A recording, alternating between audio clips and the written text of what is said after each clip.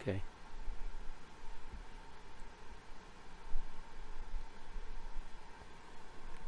I greet all my brothers and sisters who may be listening.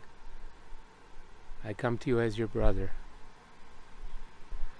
I am sure you would like to know something about me, so my words will have more meaning to you, so you will have some idea where they come from.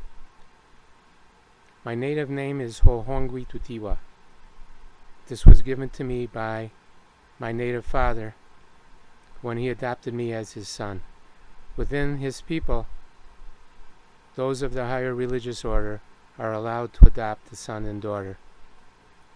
And so I was adopted and given my, my name and became a member of my tribe according to their traditions. I became my father's Kiikeld, his young hawk, his learner, and his son. He was a hundred years old when I met him. He was a chief priest, a member of the higher religious order of his people, an ancient people who live in the southwest, and you know them as the Hopi too. My father spent time teaching me the knowledge that he wished to give forth according to the instructions that were given to them at the end of this fourth world knowledge of our Earth Mother and purification time were to be shared with all of our brothers and sisters. This was their duty as members of the higher religious order to share this knowledge. Together with my father for two years, after I was instructed and taught as his young hawk, I shared together with him this knowledge in many places. You may have known him on the internet where a chat room was set up for him and a forum by the name he used there, which was Wikima or Wikimaho. This was the name he used there. As I said,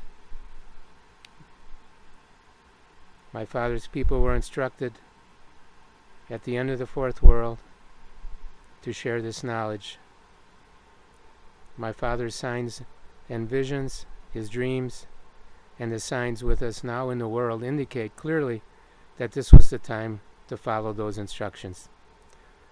My father died at the age of 102, and since the 1990s, I've been continuing to do that work, to share that knowledge with you. This is ancient knowledge. This is knowledge which has been kept, and now is the time to give it back to you, Earth Mother's children. It belongs to you. And though there is still some debate and discussion and confusion among different elders about whether to give this out, without a shadow of a doubt, this follows the instructions that were given to us. And nothing but good can come forth about sharing knowledge of our Earth Mother and purification time, which is the main body of knowledge I'm going to share with you now. So let me begin. I am your brother. But in this age we've forgotten many truths of the earth that we live upon. Our Earth Mother, in one of the sacred teachings, is called our land and our life. She is our land, we know her as our planet Earth. We walk upon her body. This is her feminine side. But she is too a living being, and within her great heart is also life, consciousness, and life. For she is a great living being embodying the life of the Great Spirit that fills the universe. For us, the universe is alive, and that life is nested throughout all of creation. The universe is alive, so the galaxies are alive. So, solar systems are alive, and each world in the solar system is a living entity, such as your Earth Mother, from whom life comes down to us. So our second great spirit law is the one who gives us the spirit of life is the one we belong to. This is our Earth Mother. She gives us our life, and I will talk about this in a bit more later. And she gives us our food and our clothing and our shelter in this beautiful world we live upon. Indeed, she is our all, she is our everything. She is our creator, embodying the great life of the Great Spirit within her. She is the nearest expression of that Godhood to us, our Creator. That is why we say the one who gives us the Spirit of life is the one we belong to. She is our all. The one who is deserving of our gratitude and our devotion and our appreciation.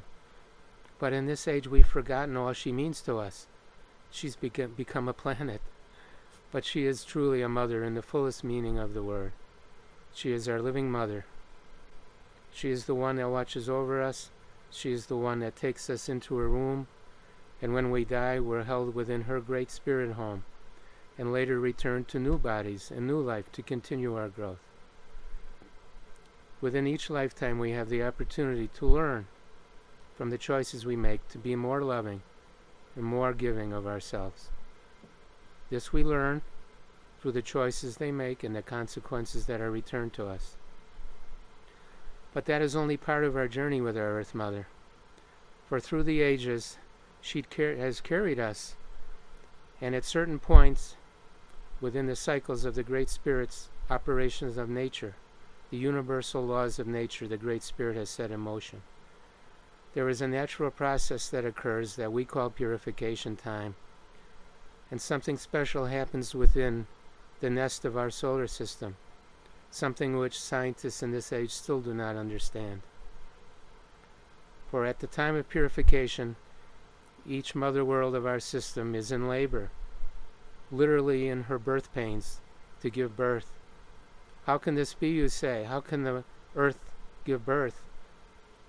We must see our earth as a living being, a great living organism, who, like a human mother, but in a greater sense and scale, gives birth. How is that so? Deep within the core heart of our Earth Mother, there is an inner core heart of the Earth. Scientists know about this core heart this great iron ball that they speak of at the center. Can you believe in your hearts when I tell you that this core is going to come out? That there is a birth canal within the earth herself and each planet of our system in which a great egg is going to come out? It's going to come out in an opening for our Earth Mother in the Antarctic. And it is this laboring that is going on now with our Earth Mother that is responsible for the strange weather and storms we are seeing, for the increased earthquake activity and volcanic activity, increasing storms and strange weather. For the birth canal where Earth Mother's egg will come out is in the Antarctic Ocean. And already the heat is of coming out of this place. It is affecting the atmosphere in the Antarctic and the ocean currents. And these things are disturbing the climate, and the continuing birth pangs of our mother will increase as she prepares to birth her egg. This is a natural process, which my people call the secret of the hidden egg, the hidden moon. For when the egg is born and ejected from her earth mother's birth canal, it will become a moon. This is the origin of moons and if you look closely at our own moon, you will see the mares or seas are what we would expect to see from the molten outpourings of when the core emerges from our Earth Mother, settling into these seas. And what we think of as craters, many of these are when the egg emerges from our Earth Mother, bubbling with the molten lava, some of these gas bubbles collapse in, as they enter the coldness of space and settle into what you see now as craters. Think about these things. I know these ideas are new to many of you, but I can tell you that my people have known many of the discoveries and things you see now, and also they know of what is about to happen. And it is to help prepare you, is to help you to understand what is coming, that this message comes from your Earth Mother and those beings who serve her, those ancestors and spirits who are no longer in the flesh, but are working now to help us prepare, help for the great changes that are coming. The signs of those changes are all around you. You may not be reading about them or hearing about them, But they are happening. You are seeing strange weather occurring that is unusual. And if you look closely, you'll see that there are more intense earthquakes coming more often every day. And these things will escalate to the coming of the birth of the core. Now I will tell you something. This is not something to be afraid of. This is not something to fear. For those who understand, this is a wonderful, joyful time. This is the end journey for us who have traveled so far with our Mother Earth through many ages. For what happens after the birth of Earth Mother's egg, and each world of our system will do the same. As soon as the egg emerges, each mother world will fly in orbit closer to the sun. They will enter a new orbit and density, and the life that our Earth Mother will then give forth upon her surface will be newly evolved life, advanced life forms, evolved to live in the new environs closer to the sun. The planet we call Venus and the body we call Mercury will enter into the sun. They will fuel the sun. They will be converted into energy. This is a process that we know and has been kept as the sacred path of migration. The migrations and evolution of life at the purification times that moves life ever forward. So when you look in the fossil record and you see all the ancient forms of man we've lived in before, these are when our Earth Mother was in earlier orbits. Such life continues and evolves, for this is one of the great things we know in our knowledge evolution. Evolution, as I'm describing it to you, is a fuller understanding than perhaps you have now. One of the scientific theories that my father knew and shared with me, it is a scientific theory that agrees with our knowledge called punctuated equilibria. Scientists have found that evolution does not seem to occur gradually, but the fossil record indicates that it goes along for a long period of time pretty much the same in equilibrium. And then suddenly there is a big advancement in evolutionary forms, punctuated time.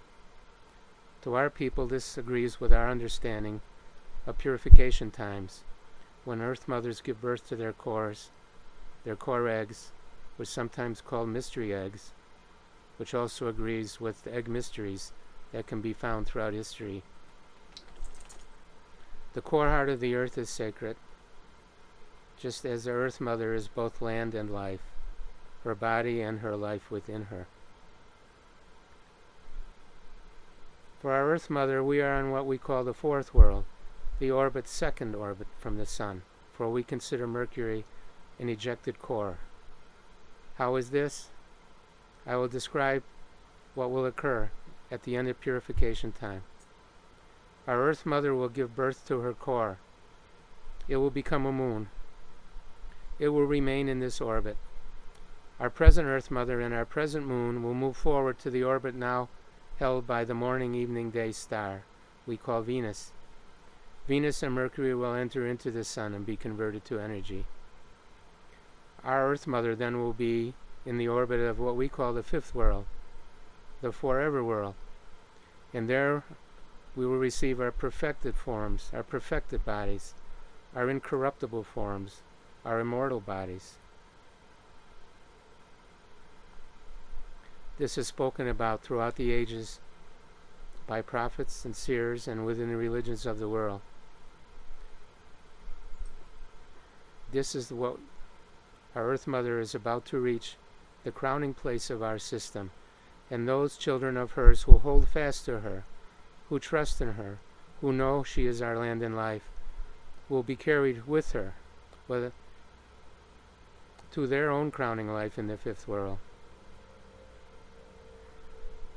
If we die upon our world, we are not lost, for our Earth Mother holds us within her great life, as she has done throughout the ages, returning us to new bodies and new life.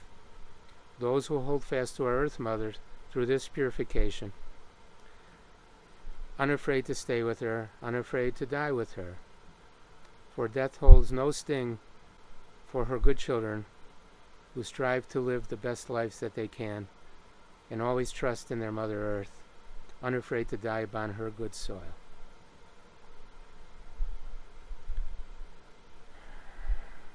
Let me take a moment to rest my thoughts. When receiving new knowledge like this, our minds are filled with so many ideas that we've received within the society and culture we've grown up. It's not always easy to incorporate new ideas. I ask you, test these words within yourself, pray upon them, meditate upon them, and only when they come true to you, you accept them and act accordingly upon them. For this knowledge is only being shared with you. It is up to each of you individually to find that truth. The knowledge that I'm sharing with you is known in different ways by other peoples. They have bits and pieces of it, and hope hopefully this knowledge will be shared and go forth to other elders so they can match it up with their own knowledge, incorporate it, and fit it all together. So this knowledge goes out to all of my brothers and sisters and to all elders all across the earth that we may prepare ourselves for what is about to happen. What I'm speaking to you about, what I'm sharing with you,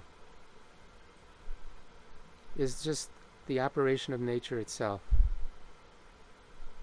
I think you will know when we are humble in our attitude that though we have gained a lot of knowledge in the last hundred years or two, we're still children in many ways and we have much to learn. We learn best when we are humble, when we bow ourselves and do not think we know so much, when we ask respectfully to a greater power than ourselves. Please, I am one of your small children. Everything I possess you have given to me. Please show me what is good for me to know. Please guide me in my life. Please help me. Then this will help you open your minds more as when you were a child and you listened and paid attention and took knowledge in as you gained more experience. This will help you take in this knowledge now so it can find its rightful place in preparing you for the changes. Now I must speak of another thing. First, you must understand what I'm telling you means that there is great meaning and purpose to the universe, that we've been evolving within the universe according to its purpose and plan, and that we've come a very long way with our Earth to where we are now as Homo sapien, man wise. But this is not the end of our evolutionary journey. This final step up the ladder of evolution we're about to take with our Earth Mother at the end of this purification time. This will then will be the end of all we've been striving for. We are so close now to the end of that journey.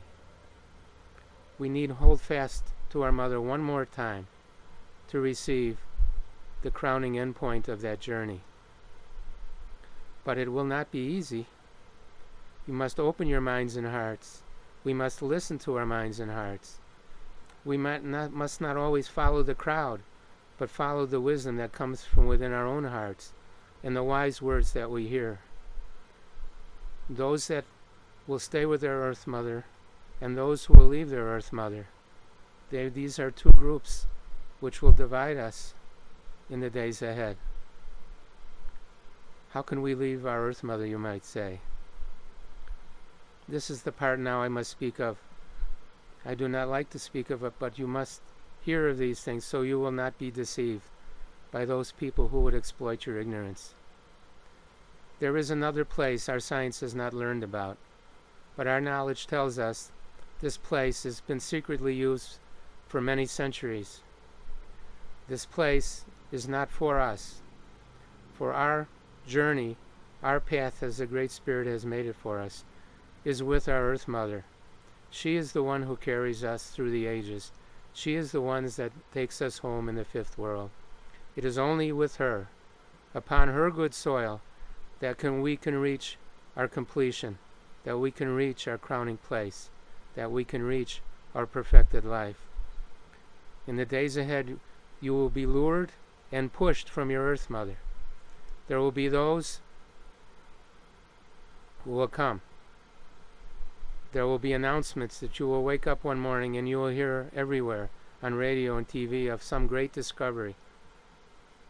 Another place you can go to that's known about. It's a time related to compass direction. So before you hear this announced, you're hearing it from me and from my father and those elders who know about it. Time is direction. And with this knowledge, you can enter into this other time structure that exists. It has always existed as part of the universe. It is not meant for us. Our Earth Mother is meant for us. She is our land and life. When you see this place announced, when you see them presenting this as some wonderful place with amazing technology and they tell you you will live forever or live for a very long time and then you hear announcements that the earth is going to be destroyed to cause fear in you to stay with your earth mother that her core is going to come out or other announcements of fear to drive you from your earth mother do not believe them your earth mother is about to move she will birth her egg, but she will not be destroyed. She will take her good children with her to their crowning forms, to their crowning life. Trust in that. Pray and meditate upon that. Do not be deceived by those who will take you to this other place, for it is not what you are going to be told. This is a place where you cannot move forward to your perfected life. This is a place for those who have gone against the Great Spirit's path. This is a place for those who put themselves above the Great Spirit, who think they do not need our Creator, do not need to follow His laws, do not need to follow His plan. They would tell you anything to lure you to that place, to get you to go to that place, because they need you there for their dark purpose, not for your good, as they will try to make it seem. But you must listen to your own minds, to your own hearts. You must listen to the voice of your Mother Earth within your heart. You must not give in to fear. Remember, death is not something to be afraid of. Death is as natural as breathing. Life and death and evolution is part of the Great Spirit's plan that we've all been following with our Mother Earth and moving us forward in our own purity and as our Earth Mother has moved us from world orbit to world orbit in the greater life forms that we possess. So let us trust in her. Now we'll take a break and rest for a moment, and we will come back again and I will speak with you some more.